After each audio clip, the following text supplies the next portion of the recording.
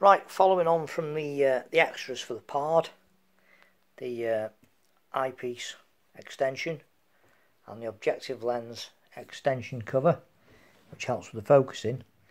Um, to complete the setup, I have also got one of these. Now this is during the daylight, uh, if it's a sunny day, because these are actual sort of telescopic sights, it's actually a digital camera. Um, it can overreact to sunlight and you get a bit glary, a little bit glary. And the idea of this is, basically it's just a little cap that pushes on the end and get it out.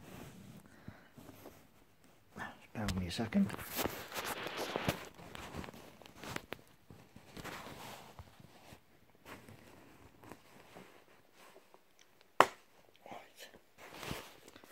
Right, there we go. Yeah, it's a little cap that just pushes into the end of the uh, the extension here, and it has a small hole in it.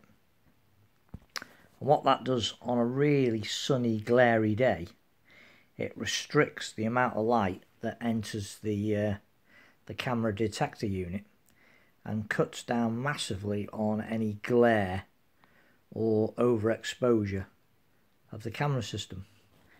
Um, and it has a little bung that fits in it so that no rubbish can fall inside so it makes a complete eye shield. And when you're using it so you don't lose it the little bung just fits in that hole at the bottom there and that just pushes in there. And to make it completely um, sealed from any rain or dust or anything there's a small o-ring that sits in there as well. Just prevents any water ingress or dust or anything like that so it makes a really good dust cap too. Obviously you wouldn't use it at night because at night you want as much um, light collection as you possibly can. But during the day because it's a sensitive detector um, a lot of these night vision type sights can suffer with that um, where they wash out a little bit because of overexposure to bright sunlight. Um, so by using something to cut down on the light entering the system, you put less of a strain on the sensor and also cut down on the glare and the uh, the washout effect. So yeah, re another really handy, little, cheap, um, but really useful add-on for the PARD system.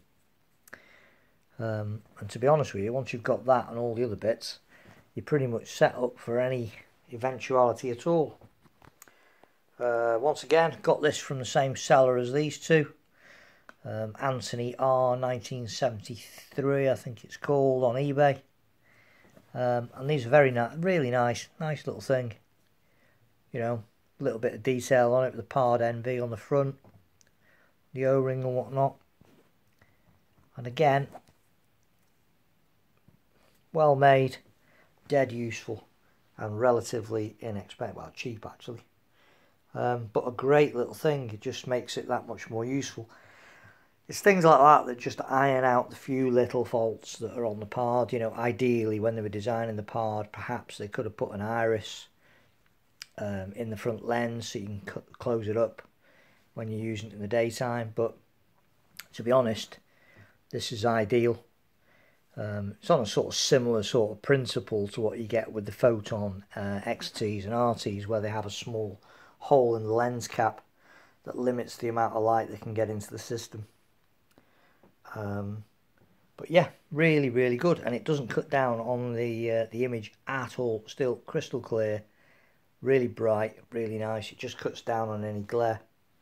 So again, if you've got a PARD um, and you're looking to just tweak it slightly, one of these, well worth it. And the other thing, of course, is once it's in place, um, completely seals the front lens unit as well. So if you've got it stored in your gun cabinet or wherever you keep your rifle, you're not going to get dust or rubbish falling on top of the lens. So really, really handy, dead useful.